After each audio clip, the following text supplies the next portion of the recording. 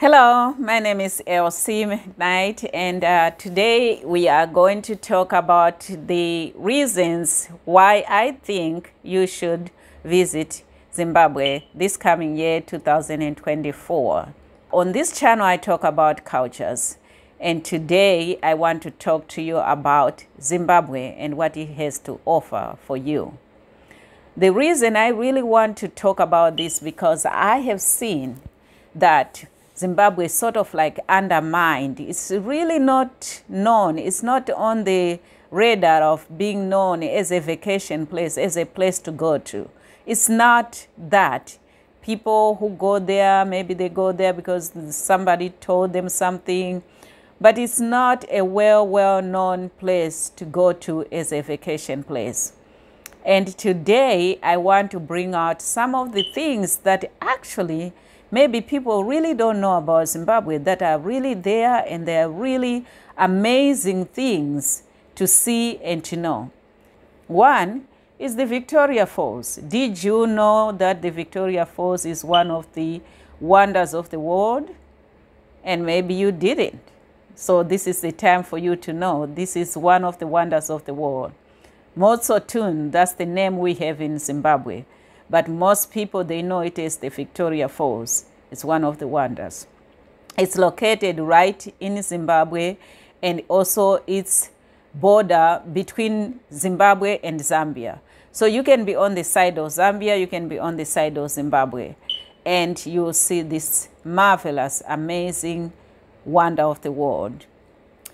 The other place you could go to is the Kariba Dam. Did you know again that Kariba Dam in Zimbabwe is one of the biggest man-made dams in the world.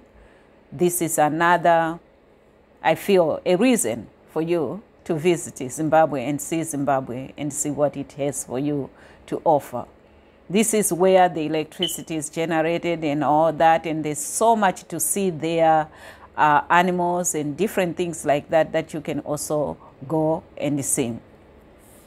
The Matopo Hills Zimbabwe is such a, beautiful place, and one of the things that it has, the characteristic it has, or the natural thing it possesses, is actually the balancing rocks in Zimbabwe.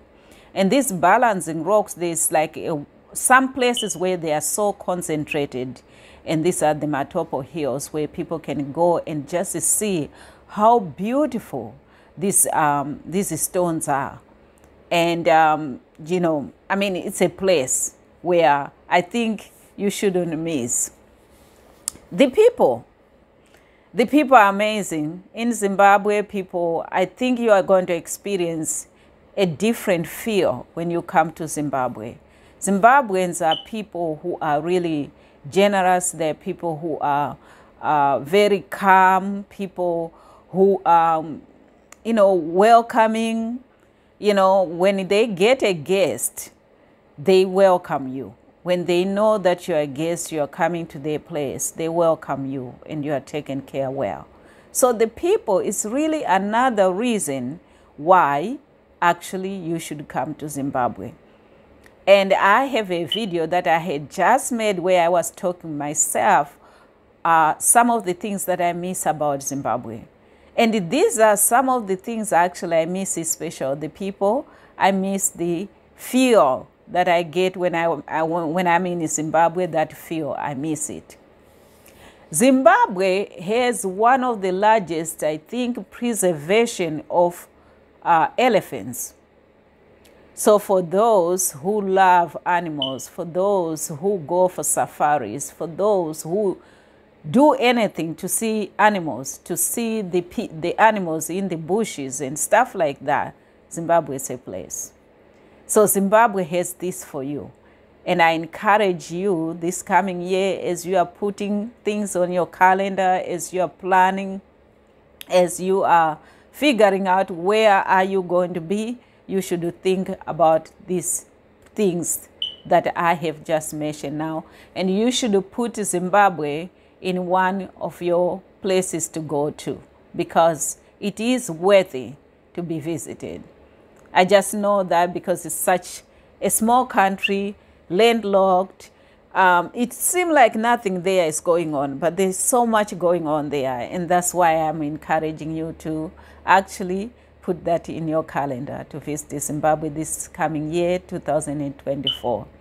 And if you haven't subscribed into this channel, I share culture, I share traditions, lifestyles, and I share the different things that you find there. And sometimes I talk about the food. Um, but it's not limited to. I also talk a lot about my experience here in America and also somewhere around the world. I talk about some of the experience of the cultures and the lifestyle and the traditions. So this channel can educate you and inform you a lot. So I encourage you to subscribe, ring the notification bell, and also share the videos with others who don't know that you think they might also benefit from this video. Thank you so much for watching. See you next time. Bye-bye.